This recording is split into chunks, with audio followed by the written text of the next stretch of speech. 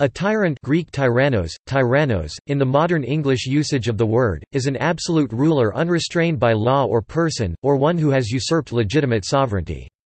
Often described as a cruel character, a tyrant defends their position by oppressive means, tending to control almost everything in the state. The original Greek term, however, merely meant an authoritarian sovereign without reference to character, bearing no pejorative connotation during the Archaic and early Classical periods. However, it was clearly a negative word to Plato, a Greek philosopher, and on account of the decisive influence of philosophy on politics, its negative connotations only increased, continuing into the Hellenistic period. Plato and Aristotle define a tyrant as a person who rules without law, using extreme and cruel methods against both their own people and others. It is defined further in the Encyclopaedia as a usurper of sovereign power who makes his subjects the victims of his passions and unjust desires, which he substitutes for laws. During the 7th and 6th centuries BC, tyranny was often looked upon as an intermediate stage between narrow oligarchy and more democratic forms of polity.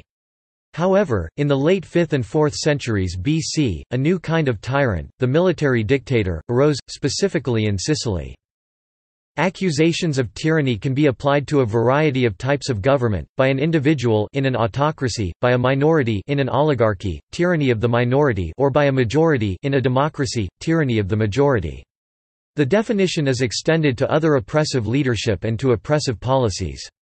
For example, a teacher may find the school administration, the textbook or standardized tests to be oppressive, considering each to represent a tyranny.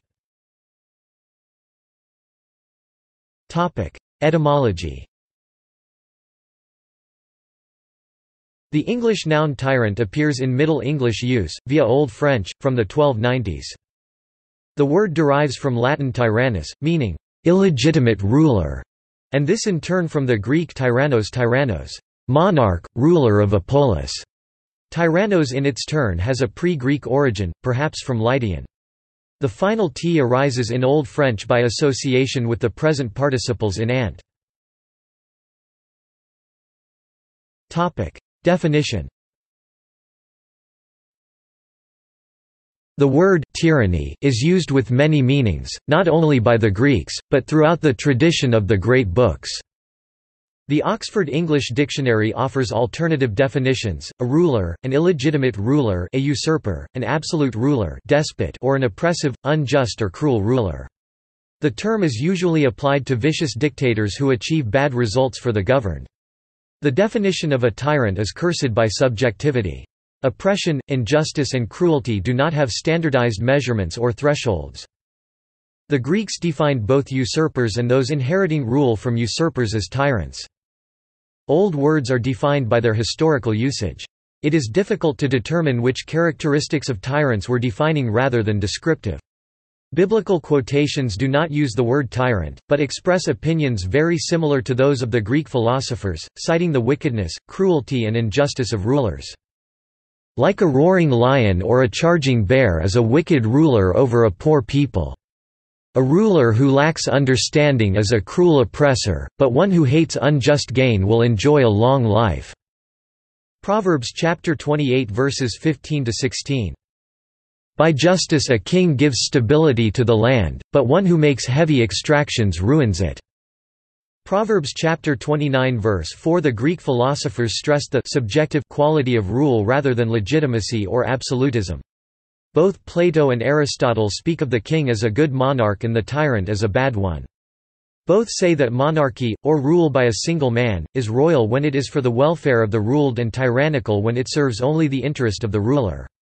Both make lawlessness, either a violation of existing laws or government by personal fiat without settled laws, a mark of tyranny. Enlightenment philosophers seem to define tyranny by its associated characteristics. The sovereign is called a tyrant who knows no laws but his caprice." Voltaire in a philosophical dictionary. Where law ends tyranny begins. Locke in two treatises of government The definition is dependent on perspective. A historical example is George III of England. From the British perspective he was a legitimate constitutional monarch. From the colonial perspective he was a tyrant based on a list of grievances enumerated in the United States Declaration of Independence. Colonists were not represented in Parliament, so they lacked the rights of the English. Economic exploitation of the colonies was reasonable, perhaps even popular, from the British perspective, tyranny to the Yankees. Bad results are also relative. Authoritarian rule might be beneficial like with Mustafa Kemal Ataturk of Turkey or of limited lasting harm to the country like with Francisco Franco of Spain. Those who list or rank tyrants can provide definitions and criteria for comparison or acknowledge subjectivity. Comparative criteria may include checklists or body counts. Accounting for deaths in war is problematic, war can build empires or defend the populace, it also keeps winning tyrants in power. Qin Shi Huang is the first emperor of China. He united seven separate kingdoms into a single nation. He built the Great Wall and was buried with the terracotta soldiers. The Chinese have mixed feelings about him. They're proud of the nation he created, but he was a maniacal tyrant. Gene Luen oppressive dictators have held states together Alexander the Great, Josip Broz Tito. A modern tyrant might be objectively defined by proven violation of international criminal law such as crimes against humanity. Early history The state is the product of civilization. Agriculture allowed greater concentrations of people which lead to more conflict. Political and military leaders arose to manage conflicts. All leaders were once dictators. T he very essence of politics in agrarian civilizations was, by our contemporary democratic standards, tyrannical. Eventually alternative forms and methods of government arose which allowed belated definitions and criticism. Historical forms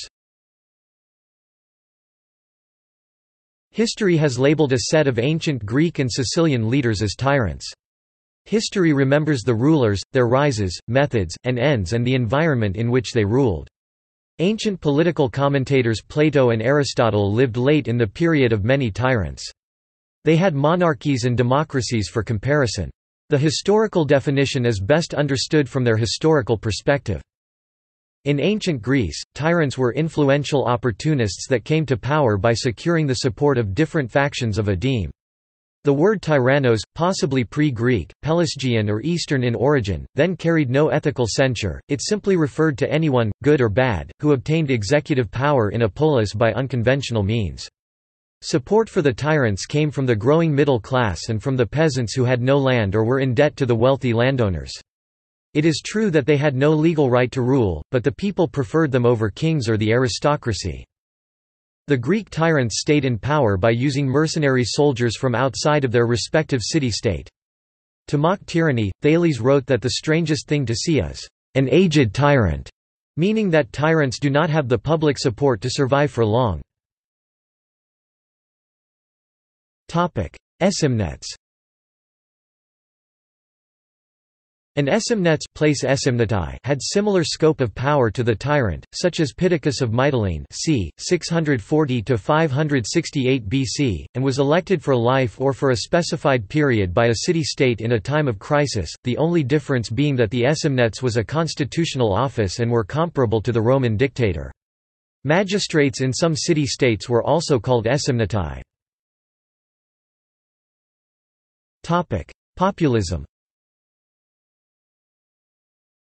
Greek tyranny grew out of the struggle of the underclasses against the aristocracy, or against priest-kings where archaic traditions and mythology sanctioned hereditary and or traditional rights to rule. Popular coups generally installed tyrants, who often became or remained popular rulers, at least in the early part of their reigns.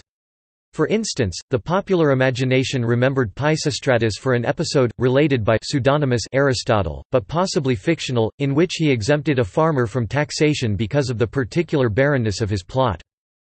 Pisistratus' sons Hippias and Hipparchus, on the other hand, were not such able rulers, and when the disaffected aristocrats Harmodios and Aristogeiton slew Hipparchus, Hippias' rule quickly became oppressive, resulting in the expulsion of the Pisistratids in 510 BC, who resided henceforth in Persepolis as clients of the Persian Shahanshah king of kings. Archaic tyrants One of the earliest known uses of the word tyrant in Greek was by the poet Archilochus, who lived three centuries before Plato, in reference to King Aegus of Lydia. The king's assumption of power was unconventional. The heyday of the Archaic period tyrants came in the early 6th century BC, when Cleisthenes ruled Sicyon in the Peloponnesus and Polycrates ruled Samos. During this time, revolts overthrew many governments in the Aegean world. Chilon, the ambitious and capable Ephor of Sparta, built a strong alliance amongst neighboring states by making common cause with these groups seeking to oppose unpopular tyrannical rule. By intervening against the tyrants of Sicyon, Corinth and Athens, Sparta thus came to assume Hellenic leadership prior to the Persian invasions. Simultaneously Persia first started making inroads into Greece, and many tyrants sought Persian help against popular forces seeking to remove them. Corinth Corinth hosted one of the earliest of Greek tyrants. In Corinth, growing wealth from colonial enterprises, and the wider horizons brought about by the export of wine and oil, together with the new experiences of the eastern Mediterranean brought back by returning mercenary hoplites employed overseas created a new environment. Conditions were right for Cypselus to overthrow the aristocratic power of the dominant but unpopular clan of Bacchiadae. Clan members were killed, executed, driven out or exiled in 657 BC. Corinth prospered economically under his rule, and Cypselus managed to rule without a bodyguard. When he then bequeathed his position to his son, Periander, the tyranny proved less secure, and Periander required a retinue of mercenary soldiers personally loyal to him. Nevertheless, under Cypselus and Periander, Corinth extended and tightened her control over her colonial enterprises, and exports of Corinthian pottery flourished. However, tyrants seldom succeeded in establishing an untroubled line of succession. Periander threw his pregnant wife downstairs killing her, burnt his concubines alive, exiled his son, warred with his father-in-law and attempted to castrate 300 sons of his perceived enemies. He retained his position. Periander's successor was less fortunate and was expelled. Afterward, Corinth was ruled by a lackluster oligarchy, and was eventually eclipsed by the rising fortunes of Athens and Sparta. Athens Athens hosted its tyrants late in the Archaic period. In Athens, the inhabitants first gave the title of tyrant to Pisistratus a relative of Solon, the Athenian lawgiver who succeeded in 546 BC, after two failed attempts, to install himself as tyrant. Supported by the prosperity of the peasantry and landowning interests of the plain, which was prospering from the rise of olive oil exports, as well as his clients from Marathon, he managed to achieve authoritarian power.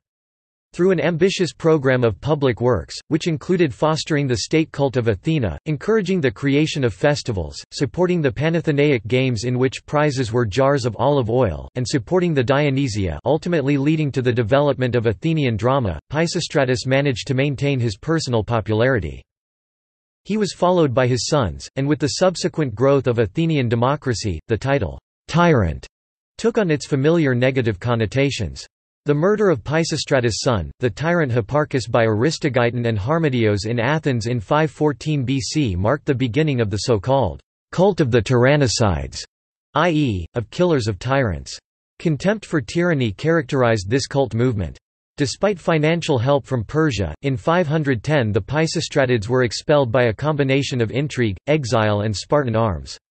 The anti-tyrannical attitude became especially prevalent in Athens after 508 BC, when Cleisthenes reformed the political system so that it resembled democratia ancient participant democracy as opposed to the modern representative democracy. Hippias Pisistratus' other son offered to rule the Greeks on behalf of the Persians and provided military advice to the Persians against the Greeks. The thirty tyrants whom the Spartans imposed on a defeated Attica in 404 BC would not be classified as tyrants in the usual sense and were in effect an oligarchy. Sicilian tyrants The best known Sicilian tyrants appeared long after the Archaic period. The tyrannies of Sicily came about due to similar causes, but here the threat of Carthaginian attack prolonged tyranny, facilitating the rise of military leaders with the people united behind them. Such Sicilian tyrants as Gelo, Hiero I, Hiero II, Dionysius the Elder, Dionysius the Younger, and Agathocles maintained lavish courts and became patrons of culture. The dangers threatening the lives of the Sicilian tyrants are highlighted in the morale tale of the Sword of Damocles. Later tyrants Under the Macedonian hegemony in the 4th and 3rd century BC a new generation of tyrants rose in Greece, especially under the rule of King Antigonus II Gonatas, who installed his puppets in many cities of the Peloponnese. Examples were Cleon of Sicyon, Aristodemus of Megalopolis, Aristomachus I of Argos, Abantidas of Sicyon, Aristippus of Argos, Lydiadas of Megalopolis, Aristomachus II of Argos, and Xenon of Hermione. Against these rulers, in 280 BC the democratic cities started to join forces in the Achaean League which was able to expand its influence even into Corinthia, Megaris, Argolis and Arcadia.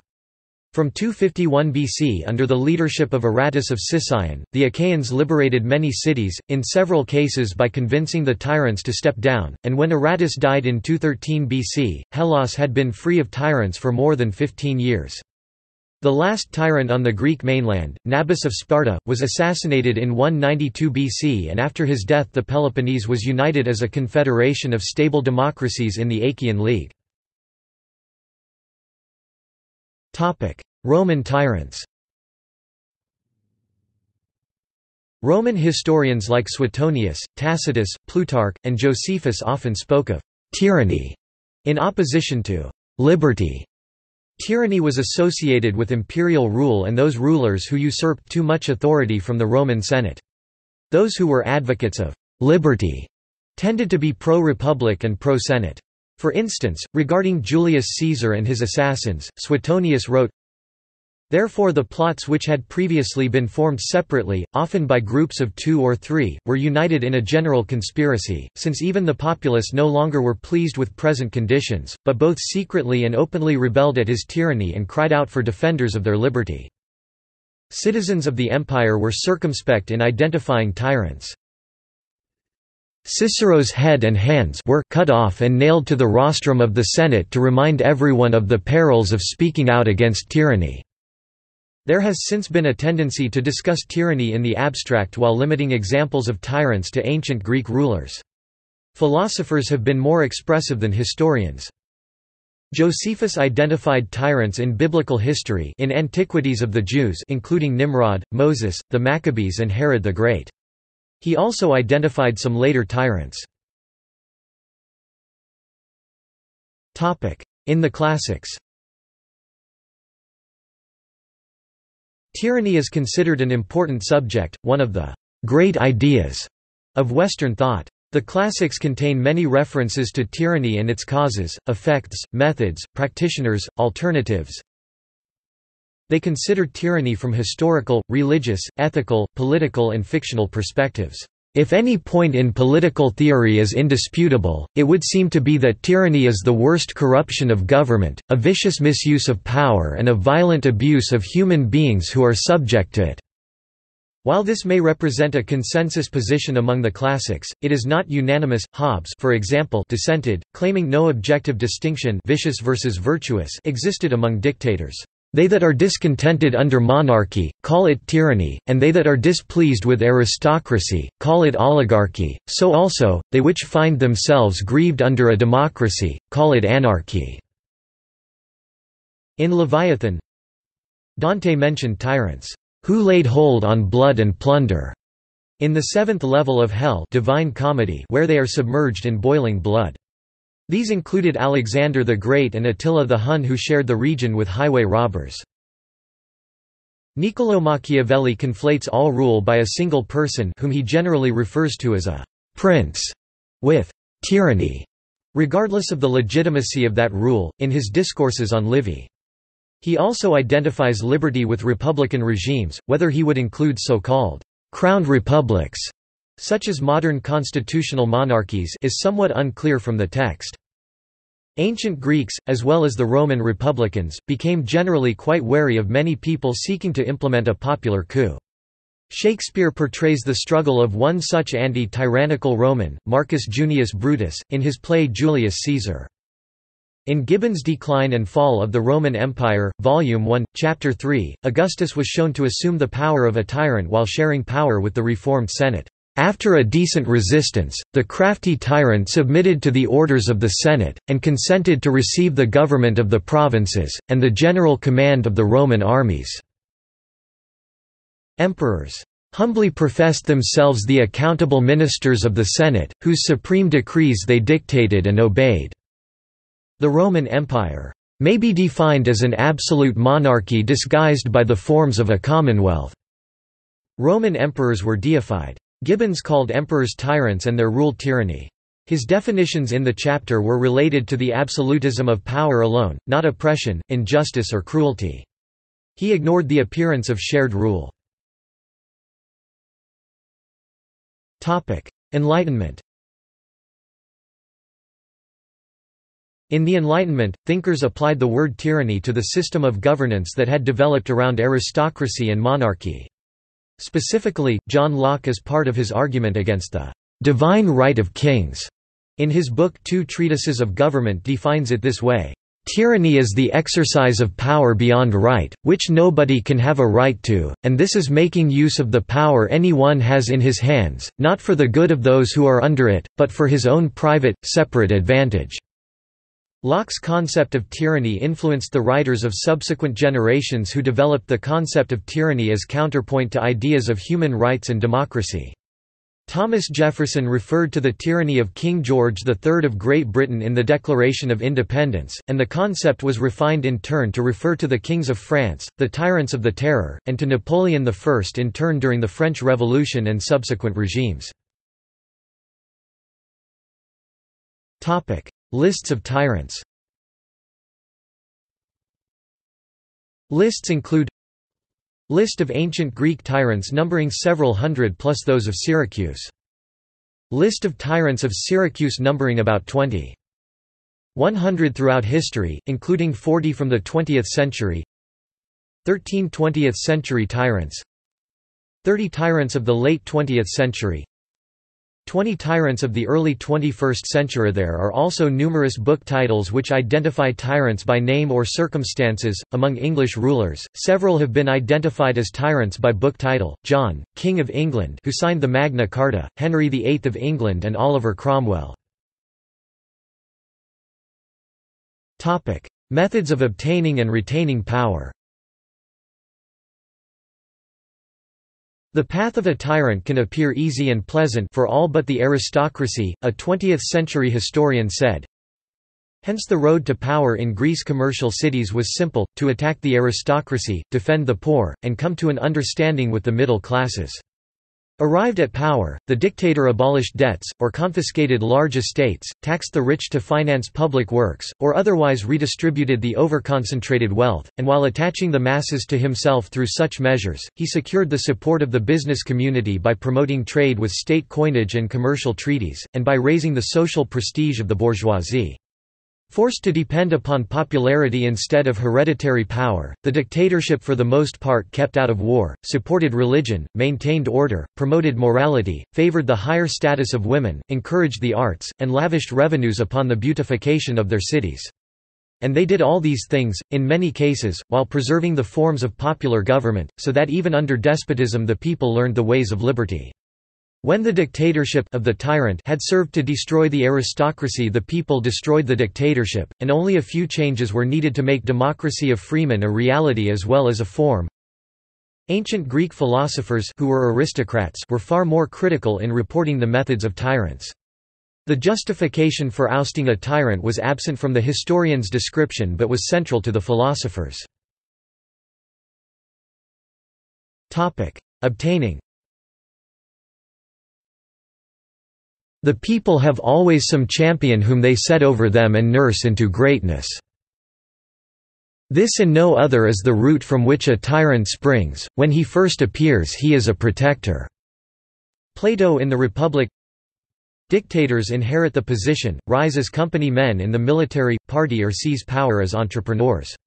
Early texts called only the entrepreneurs tyrants, distinguishing them from «bad kings» Such tyrants may act as renters, rather than owners, of the state.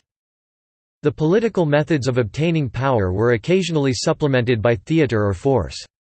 Pisistratus of Athens blamed self-inflicted wounds on enemies to justify a bodyguard which he used to seize power. He later appeared with a woman dressed as a goddess to suggest divine sanction of his rule. The third time he used mercenaries to seize and retain power. Retaining Lengthy recommendations of methods were made to tyrants by Aristotle in Politics for example and Niccolò Machiavelli in The Prince. These are, in general, force and fraud. They include hiring bodyguards, stirring up wars to smother dissent, purges, assassinations, unwarranted searches and seizures. Aristotle suggested an alternative means of retaining power, ruling justly. The methods of tyrants to retain power have changed little in over 2,000 years.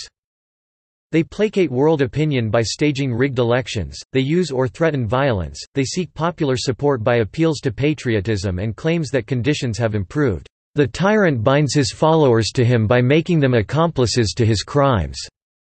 Anonymous. The tyrant confuses those he can't convince, corrupts those he can't confuse, and crushes those he can't corrupt." Anonymous Psychology of tyrants The classics note that tyrants are often unhappy. In every tyrant's heart there springs in the end this poison, that he cannot trust a friend. Aeschylus, Prometheus Bound. Tyrants appear to suffer psychological pathologies that result in self-destructive behavior. His grandiosity and his skills in deception, manipulation, and intimidation are an advantage to him in securing power. But as he moves toward absolute power, he is also apt to cross moral and geographic boundaries in ways that place him in a vulnerable position. Thus, he may engage in cruelties that serve no political purpose, challenge the conventional morality in ways that undermine his base, engage in faulty reality testing, and overreach himself in foreign engagements in ways that invite new challenges to his rule. Quote, these pathologies are not evident earlier in life although those without a certain level of brutal self-assurance do not become dictators. The ruled also exhibit pathologies. An attempt on Hitler's life outraged Germans. Quote, when Stalin died many wept, even in the concentration camps, there is no simple relationship between popularity and tyranny. See also Outposts of tyranny. Tyranny of the majority. Tyrannicide. Despotism. Dictator. Dictatorship. References. External links.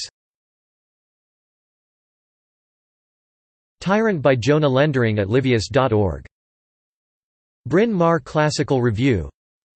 Victor Parker, A History of Greece, 1300–30 BC Chapter 7